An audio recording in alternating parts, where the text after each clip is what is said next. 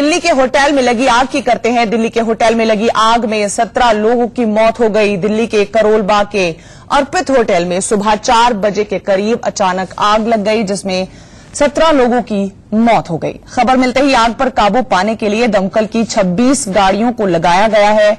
दमकल कर्मियों ने 35 लोगों को ज़िंदा बाहर निकाला है।